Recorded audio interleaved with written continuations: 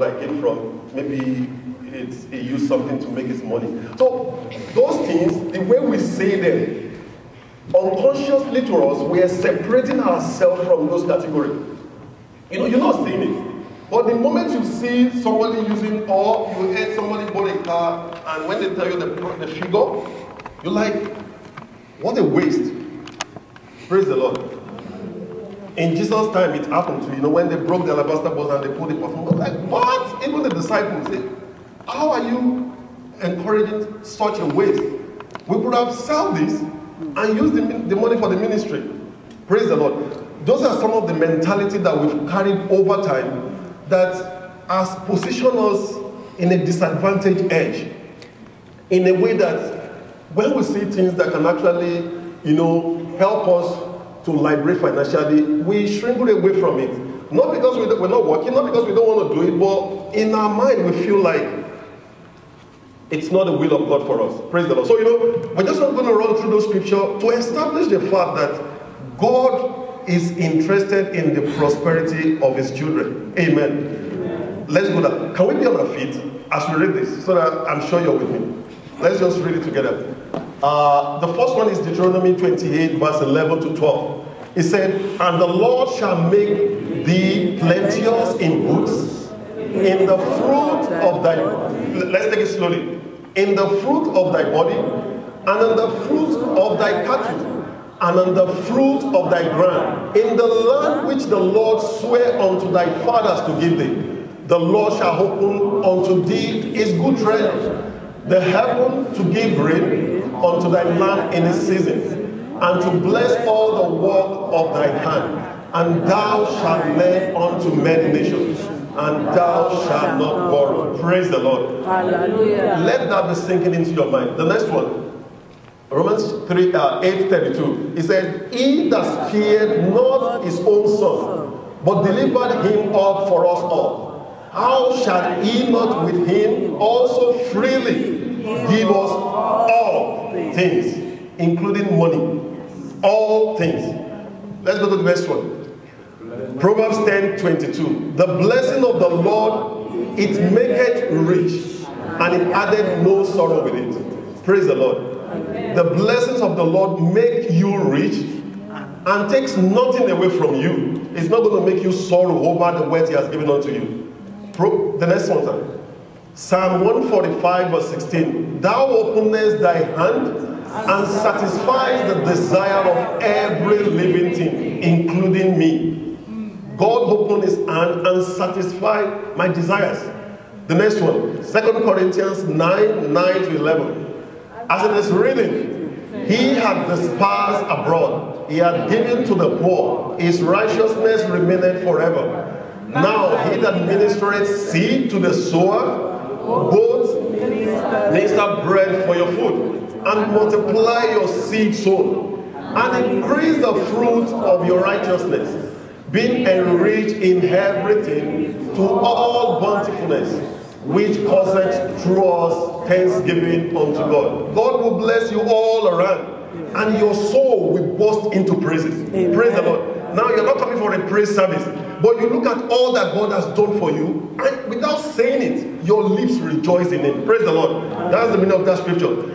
Philippians 4:19. Now, this is the main one. He said, And this same God who takes care of me will supply all your needs from his glorious riches, which have been given to us in Christ Jesus. Praise the Lord. You see, when I want to give you stuff, I give you from my riches, and that has the cap. When, you know, we have different capacity, right? That's what I'm trying to say. But God has unlimited resources. And He said, He's blessing you from that perspective. He's, he's blessing you from that perspective of having unlimited resources. So it's you that determine the limit. Praise the Lord. That's the end. Amen. Praise the Lord. Father, we thank you for this morning. We exalt your name because we know you're going to give spirit to your word. We thank you. You say you sent your word and it healed their diseases. You said no jot of this word will go except it accomplish and come back to me except it accomplish its purpose. We're trusting you, Jehovah, that your word will accomplish the purpose you desire this morning. In the name of Jesus.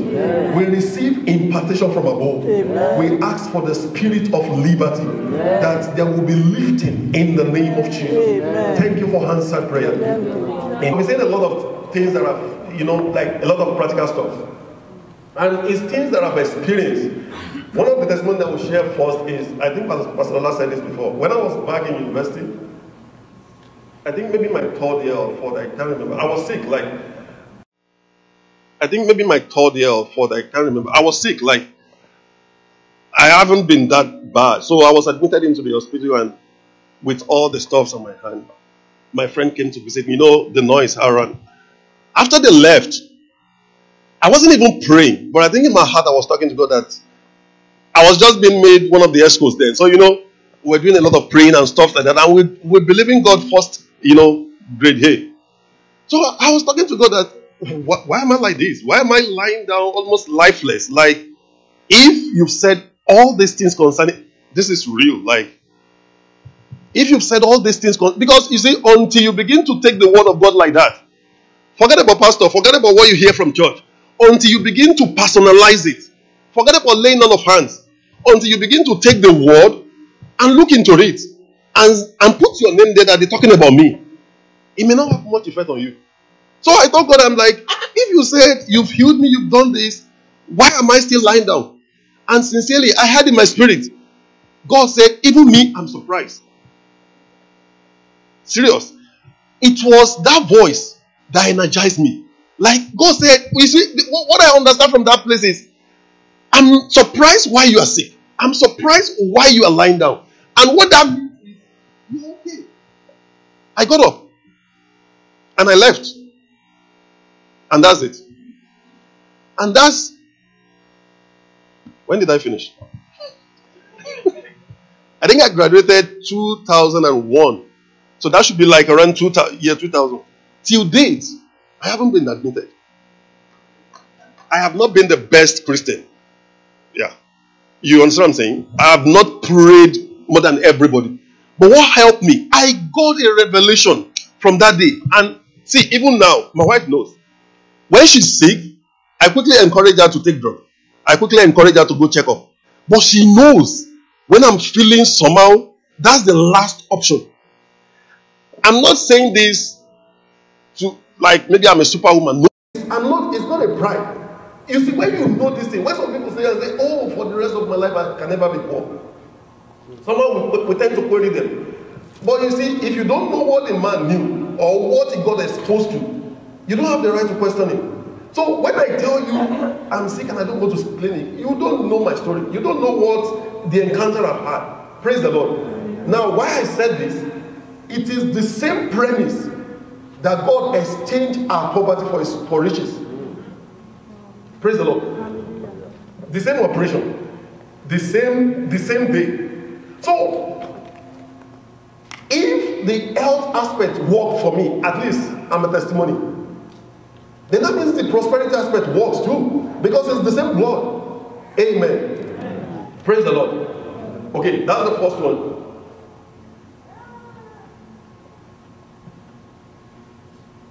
You see, the second aspect is you have to believe God that God is interested in your prosperity. It, it, it, now, at this point, forget about what you've known. You know, because even me, it got to a time that, you see, I was finding it difficult when, when I, I was finding it uncomfortable when I see people talking about money. Especially in church, when they're preaching about money, money, I'm like, is this all we're saved for? Is this all we come to do? Praise the Lord. But believe you me, it's it's he said, they said, money answered all things. Well, let's stop it there. Praise the Lord. But you know that if we're all enhanced uh, financial wise, we can do a lot of a lot for God. One of the pastors was saying, he said, everywhere you see the billboard for Coca-Cola, if you see a billboard, because that's like the most popular product, if you see a billboard of Jesus loves you beside it, it's going to go far. But that's not going to happen by speaking in tongues. Amen. That happens because of money. And I'll just go fast so that we can cover what we, what we want to do today. All I'm saying is to just have us uh, get a background that say God is interested. Forget about what people have said, or maybe if you have money, then you will not love God again. It's not true. See, money doesn't have a master. The paper doesn't have. We're going to get into that. It doesn't have a master. It depends on what is here before. So there are some poor people. They are still greedy, even though they don't have. Amen. And so it doesn't matter. It's not the it's not the money that really influences. The money only amplifies what's inside of you. So who you are is still who you are. And if God is going to change you, He change you wherever you are. Praise the Lord. Praise the living Jesus. Okay, so today as we're looking at unlocking the doors to financial prosperity, you know, we, we, we're moving away from miracle. We're moving away from God blessing you or God talking to somebody we're talking about perpetual opening door. You know, like always, it's not something that is going to happen. It's something that God is going to be asking you to do stuff. You're going to be the avenue through God, through which God will be performing His work. Amen. So, like I said in Philippians 4:19, God was talking about His unlimited resources. And see, we, we need to tune our brain. We need to tune our our, our orientation to that aspect that, see, the person you are dealing with has no limit. I have a limit. Whoever you're looking at as a man has a limit. But if your source is attached to God, there is no limit. And why am I saying this? You see, the first stage in developing or in growing financially is the mindset. You see, most of these rich guys, they have nothing different from you. Like, we're the same creation. We have the same thing. But what I've seen that is different from them is they don't think the way we think. They, you see, they think like this. Majority of the people go this way.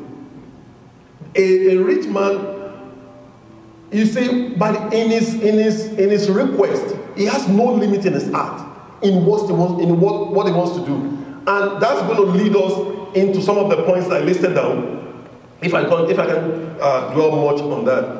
I said, you see, you have to develop this faith. You, you, it's part of this, the, the faith of a Christian, but you have to have the faith that God has, has, has, has blessed you. Let me put it that way. Because there's nothing we get, no matter who you are, there's nothing we get that we did not get by grace. It's, it's whatever you have is by God's grace. But your faith activates that grace. Praise the Lord. The grace is to everybody. The grace of God to get well, to you know, to increase capacity, has been open to everyone. But we know that it's not everybody that is rich. Why? Because it's not everybody that has believed that grace. And even to Jesus, the Bible says, because his people do not believe him, he was limited in what he has the capacity to do. So he has the capacity to heal the whole city. He has the capacity to make everybody in that city prosperous. But because the people are not recipients, because the people are not trusting, because people are not believing him, because they still felt like he's still the same boy, just like uh, our minister during the Easter program said, it's still the same boy they grew up with. He was able to do nothing for them. He was incapacitated even though he was God. Praise the Lord. So we have to open our heart and believe. See, I don't care what you are doing now. It's inconsequential. It doesn't matter. Believe in the fact that God has established you as a pillar financially. That's where it starts from. Because if you don't believe it, then it's difficult to tap into that grace, that great wealth. Amen. Now you know, I'll just say there that you see, most time we do a lot of work. And sincerely, of course, I'm not talking down on that. It's still part of what I'm going to talk about. We need to work. But it's not work that creates wealth. Amen. It's just one of the principles that sustain it. It's not work that creates it. And I'm just trying to say that it is the grace of God that brings about this thing. Look at Peter. Before Jesus intervened uh, in his, you know, when he was fishing, he said they've toiled all night. Amen. And after Jesus borrowed the boat and used it and said, okay, Peter, launch into the into the deep. The Bible said their nets were breaking. Where were the fishes the first time they were toiling? It's not from the same deep? Amen. And Peter was a professional fisherman, so I know he's not going to stay at the bay. All I'm just saying with that is it is the grace of God that draws wealth. Amen. Amen. It is the grace of God that draws this thing. And all you just need to do is to position yourself in a, in a particular place that you're going to be accessible. Praise the Lord. So Okay, we move on. We said there are some keys. You know, there are some things that all these things I've said. Okay, let me say that. All these things I've said, like God has blessed you, we've read the scripture and everything. They are spiritual, right? They are in the heavens. When you pray that God should bless you and God said He has answered your prayer, He has released, you know, like if you ask God for a million, He has given you the million if you believe by faith. Because He said, when you ask, you receive. And if we take that scripture as the face value, then that means God has answered that prayer. But you're not seeing the million in your account yet. Amen. So what we're going to be looking at are things to draw the spiritual resources into the head. They are things to bring down our money. Let me say it that way. When you pay your tithe and God said, trust me, uh, try me if I will not rebuke the devourer and open the windows of heaven to you. It is the window of heaven. You live here. Amen. So you need the money here. Praise the Lord. So we're just going to be looking at some points that will help us, you know, to translate the spiritual blessing onto our head cleaning. The first thing I talk about, I said dream. You know, dream and speak about it. Our mind has been so corrupted, quote and unquote, to the other side. You know, because like when you somebody say, oh, that's my brother, he's a millionaire. Naturally, you reject it. You know, you, something just, well, you know, waiting. you, you know, we're, we're coming to that. Oh, see that brother, he's so rich, rich, where and even though we play with it, that's the unconscious response from our heart. And that is our situation. Amen. So, and sincerely, you need to start reconditioning that because it works. So when somebody says something like that, instead of you to reject it, you claim it. They say you're a millionaire. That is how we see it. We bless God. Even though you are not seeing that money yet in your pocket. Amen. So that is where we're going to start from. So I said, dream. You see, don't think because your current job is $15 per hour and that is going to stop you from imagining the fact that you will be above. You know, I was being, when I was working as a nurse, as a PSW,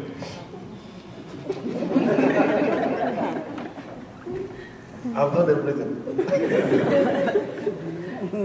you see, you see what I said there? When the ladies come and we start talking, I said, I'm buying this facility.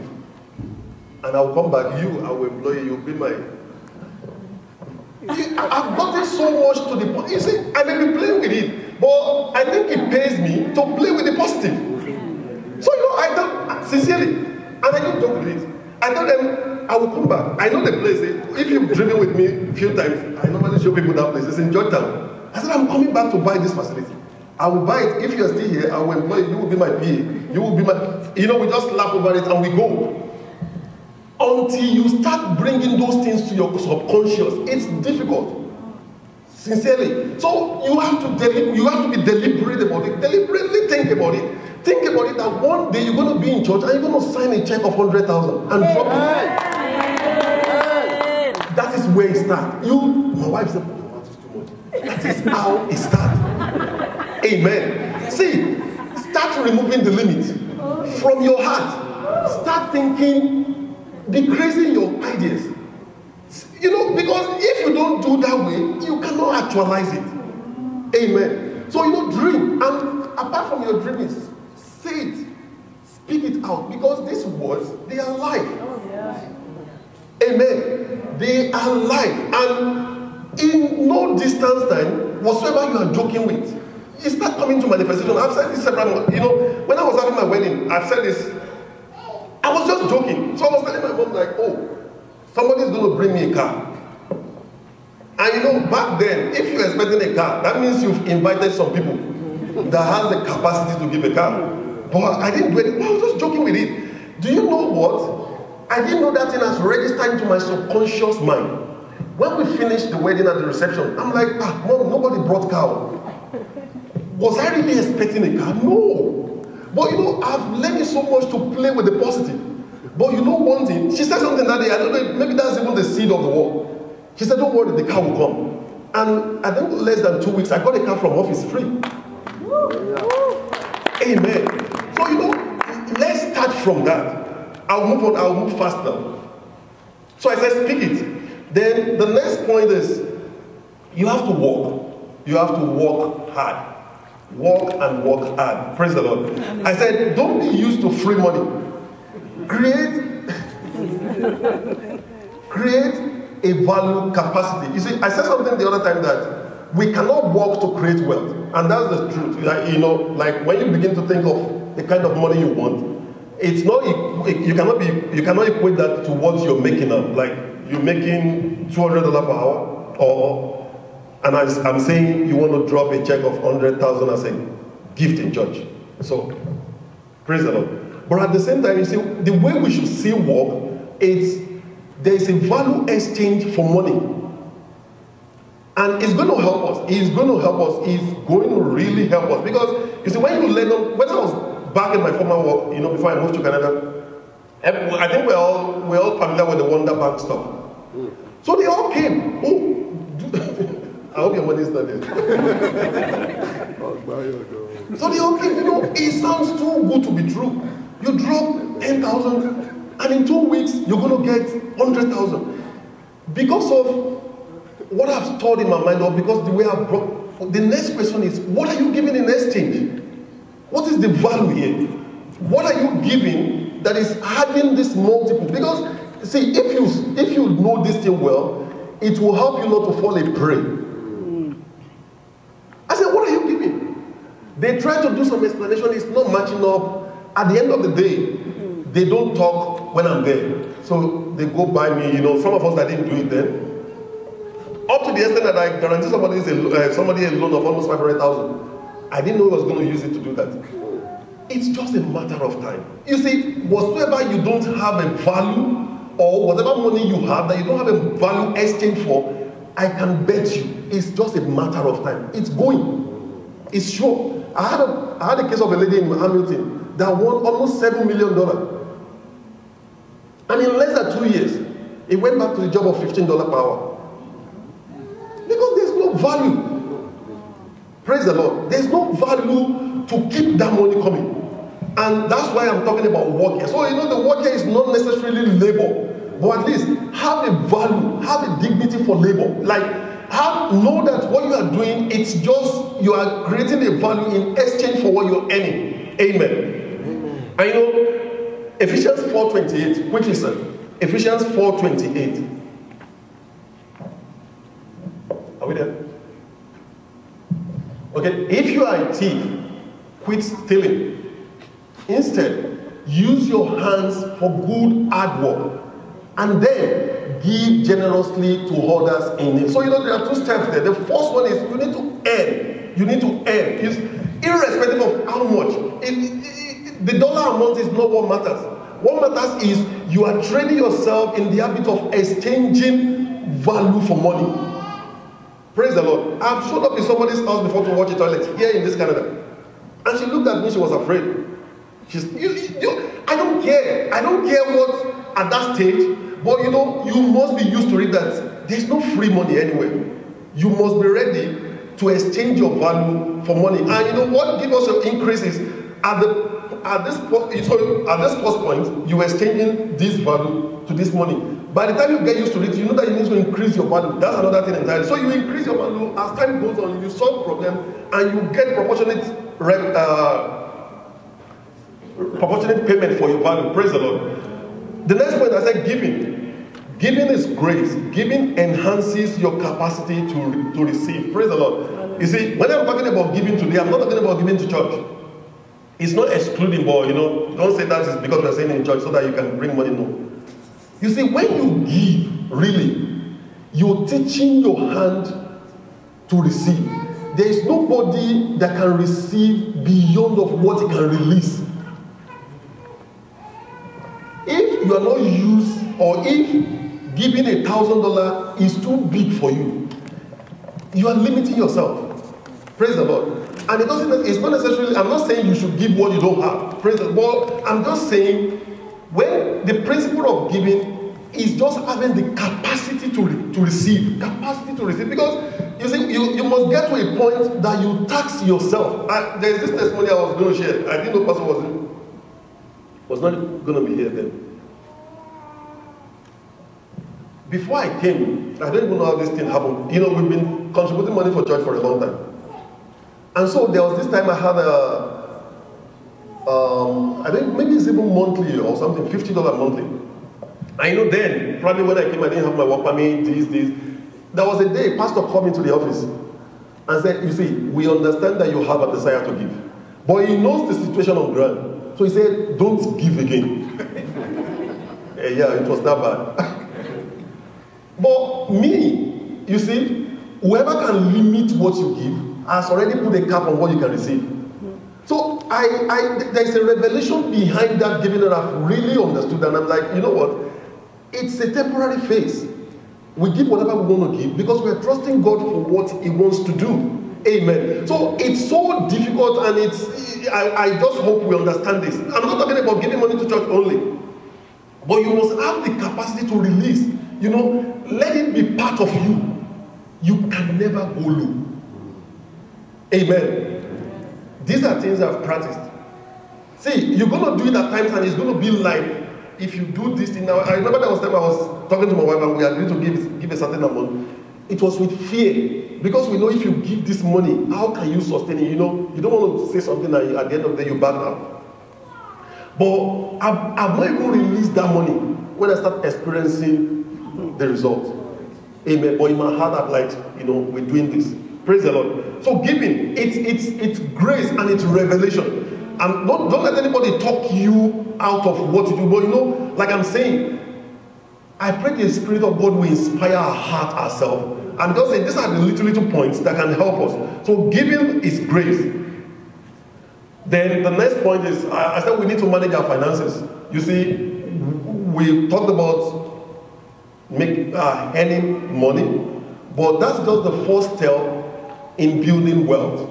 You must be able to get to a point that your money makes money for you. You know, compound interest coming, uh, setting for you to begin to make money for you. And how this can happen depends on what you do with the money you have. You must be able to manage your money well. I say it again that if what you're spending is more than what you're earning, it's difficult. It's just it, it's a hard truth. I know the society we have, it's so I was in Home Depot yesterday. You have your money you want to pay, but they're telling you no, don't pay. Let's give you credit. You know, like so it's so easy. Free money everywhere. Like you feel I went to a bank one day and before talking, they approved a credit card of 10,000. So you see all these things all around.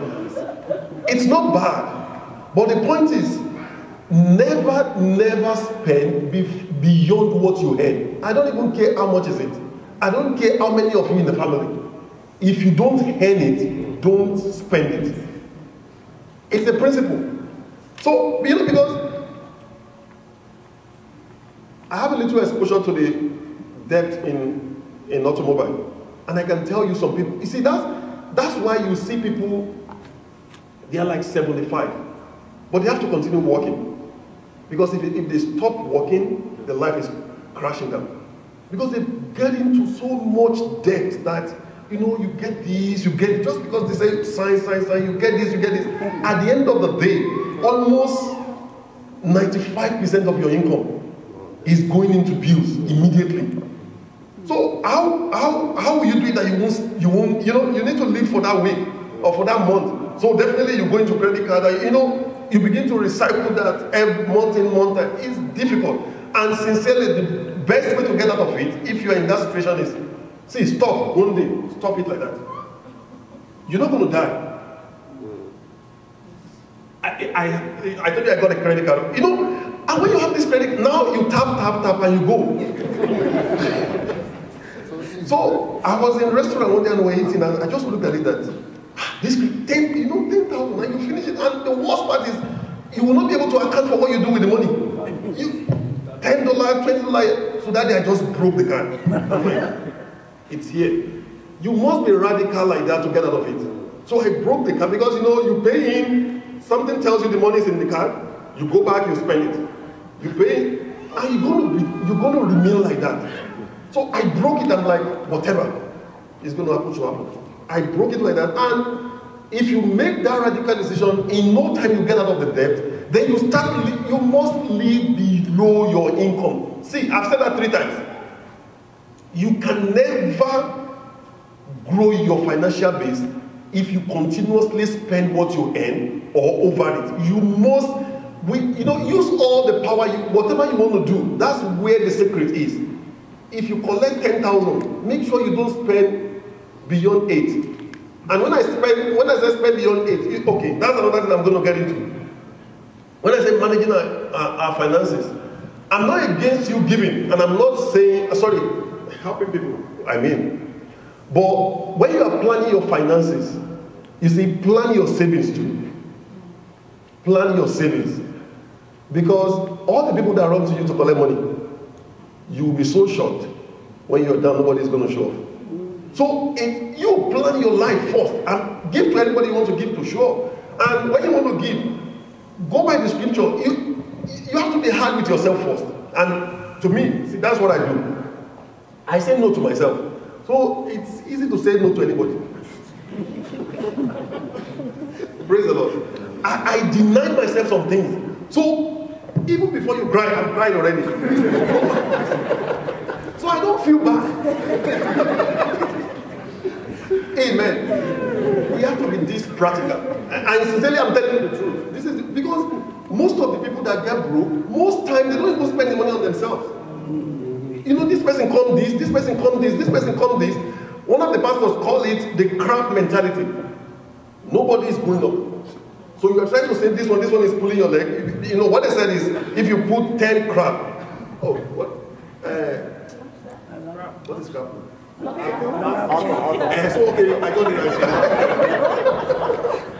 So they say when you put 10 in a bucket, that none of them is going to get out. Because as one is trying to get out, the other one is pulling his leg to go out. And so everybody is going to remain at that same level. So it's not really, I'm not trying to harden our heart that we shouldn't do or we shouldn't help people, but I'm saying you have to plan your finances. The first thing you do when you receive your money, the first, you pay your tithe and you pay yourself. And paying yourself is the saving. So another thing is because when you have 5,000 and you pay your tithe of 500, and I'm saying now that maybe you should be able to save like 1,000. And you now tell me that, ah, eh, but brother, somebody come and say, please, can you borrow me money? Will you tell the person you don't have money? You don't have. Because that money is gone. It's not in your hands. no, seriously, you don't have that money. And you know, see, you see, why we're finding the difficulties, we don't understand some things. If you don't get out, or if you don't get this thing I'm saying, it's difficult. And these are the small, small matters now. Because you go, I'm trusting God that you're going to get to a level that you are managing big money. So if you don't train yourself to get it now, it's difficult then. Amen. So you have an habit that every month you are setting aside 500. You don't have 500 again. It's spent. It's gone. So all you have, and you know the way you can tell that person is because even you yourself, you know you don't have access to that money. So you're not lying it's, it's, it's not within the spending budget for that month. Amen. Okay. The fifth point, I said, be kingdom minded.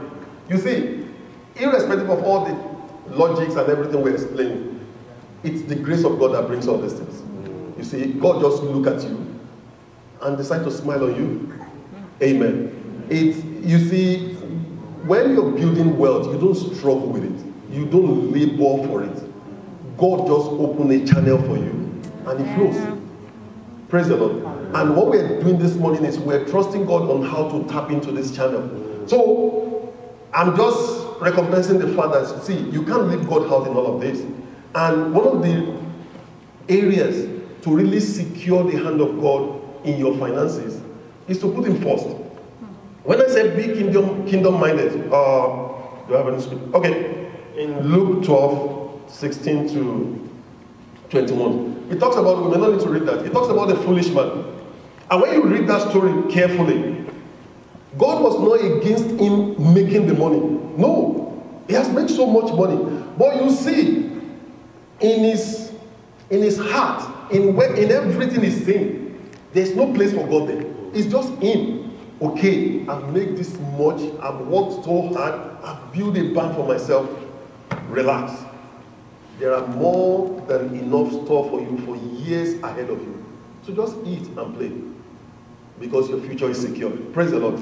And the only reason God took him was because he did not acknowledge that God was the source of his finances, that God gave him the ability and the power to make that wealth. Praise the Lord. So one of the ways to really hold God dear into your finances is to put God first. And when I, you know, I was so specific about this, I said, pay attention to what matters to God. Let that be your priority for making money. This is not limited, you know, it's not limited for distributing tracts. It's not limited to, for coming to church. It's not even limited for preaching the gospel. No. But you find yourself in a strange environment and, you know, let it, let it be what you carry. Care. Care for people. God doesn't care for Christian only. No. Even though he said when you want to give, you should give to the household of God first. But here, but what happened? And look at the people around the world. Look at Bill Gates. Look at well, Warren Buffett. Look at all those guys. Look at what they spend their money on. You see, they look at it and they say, oh, malaria is destroying part of the world. We want to champion a cause that will eradicate that. Are you saying God is not interested in that? So, you know, they have passion for things after the heart of God. And the same, the same thing you should have passion for the work of God. You should have passion for what God will care about. When you see, let, let, let it be your motivation. You see, when I was, before I started working, I went to one, my first interview actually, before I moved into Canada. It was a bank interview. I think they were going to take like maybe 100 men. We got to that center. I was weak. Sincerely. Like when I saw the crowd. Crowd I pity. Even though I don't have a job there. I'm sincerely I'm telling you the truth. My I, I was weeping in my heart. Like, and people travel from far and near, you know, like me, that day, I think from Bauchi to Abuja, that was roughly like four hours. So everybody traveled around the country and I got there. What? It was like they came for uh, a JAMB exam or something like that. These are graduates looking for a job. And so, right there, my heart, I was like, we have to provide job for these people.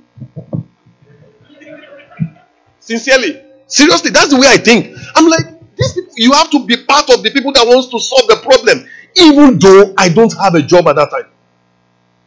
So you, you understand what I'm saying? That should be the way we're thinking. Like, put your heart in things that you go, you're going to be like a partner to God.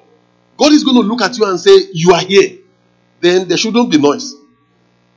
Amen. You see, you, you, you, three of you are supporting a ministry, then their prayer point shouldn't be for increase in, in, in money. Because you are there. When when it's like that, you've already secured God's hand in your in your in what you're doing. And God takes care of whatever uh, you concerns you. Praise the Lord. Praise the living Jesus. The sixth point, I said, receive divine instruction and comply receive divine instruction and comply. Believe God, believe His prophet, and act in obedience. Amen. Amen.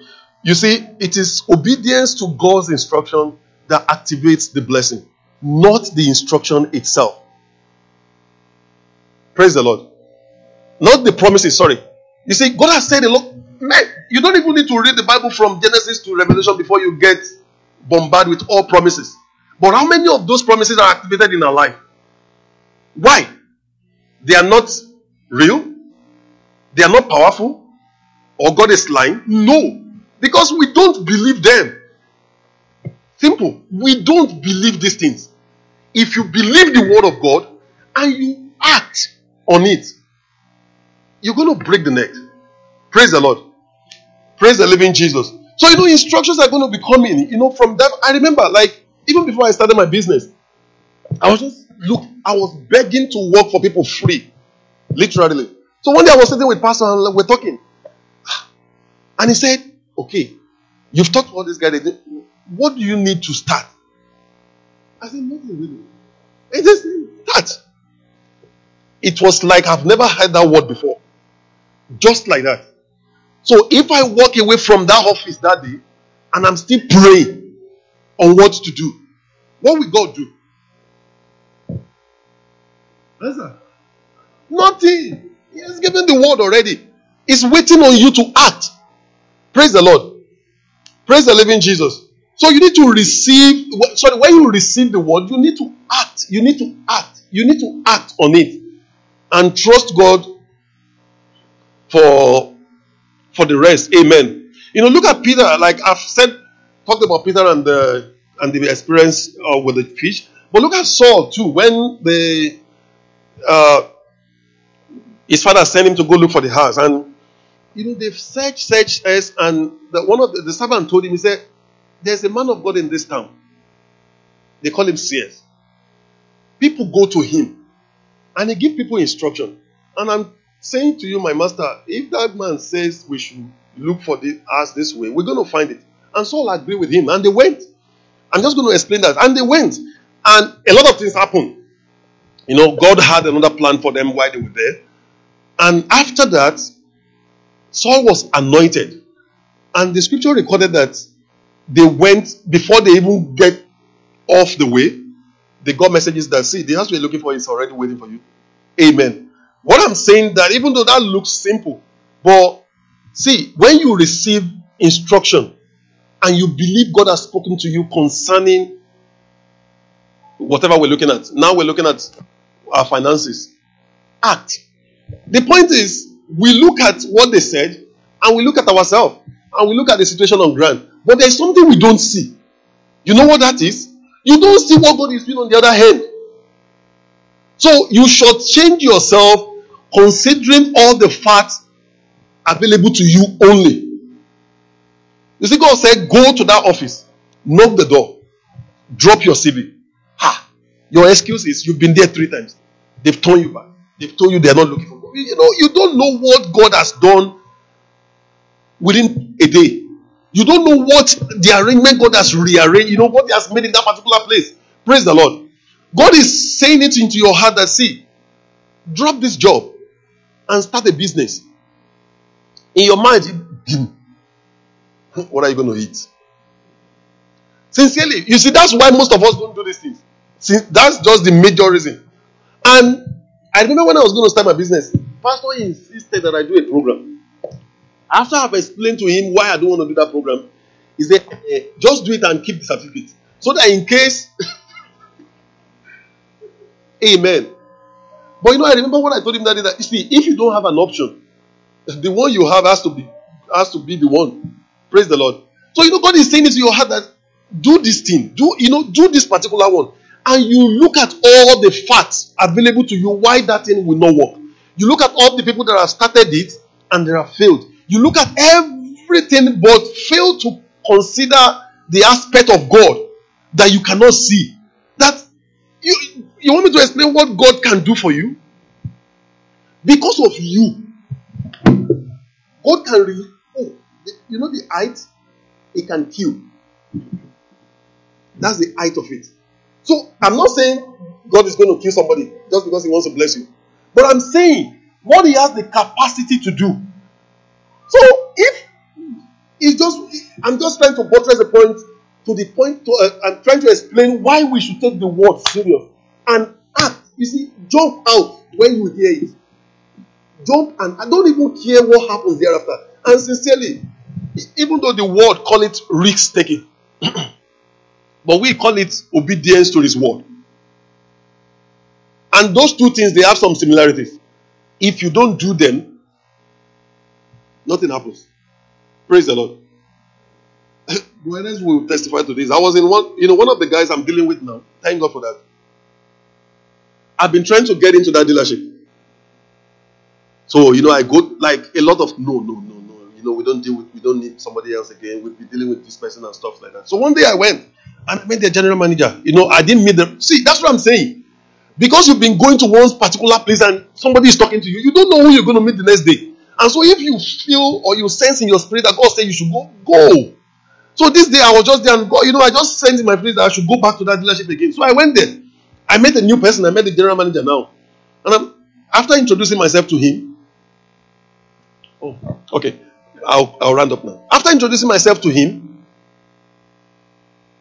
he said, like I say, I'm a dealer, I'm buying a car. So he said, What do you buy? I said, I buy everything. He looked at me, serious? I said, yes. Okay, sit down. He brought his pen out. To cut a long story short, I signed a check of 25,000 and I gave it to him. Hmm. And when I got up from that place, that's when I realized what I did. In my account, I'm, I'm see, brothers is here, you, you, you testify to this story. In my account, I have less than 2,000 naira. And I will bet, I'll tell you, no, I don't have anybody I'm thinking somewhere that will give me money. No. So I didn't know what I was doing until I left the office. I'm like, you know, I give check. I didn't even give a post-dated check. I signed the date today. When I left the day, hey, now you've created a problem. Let's solve it. And you know what? God provided that money that day. I, I called Brightness. I'm like, where are you? I'm so so place. How much do you have in your account? When he told me the amount that yeah, and this is like four o'clock, right? Maybe four or four thirty. He was in campus then. I said, which bank do you use? He says. I ran into the bank. I stayed in the bank. I told them they cannot close. that somebody is coming. He came after five. Praise the Lord. You see, you don't know what God has planned on the other side. So if He's telling you to jump, you better jump. Amen. Praise the Lord. I will be stopping here. But you know, like I've said, we've shared a lot of story, we've shared a lot of scriptures. But the most important aspect of it is the impartation of the Holy Spirit. When God decided to open the door to you, even you cannot shut it. Can we be on our feet as we begin?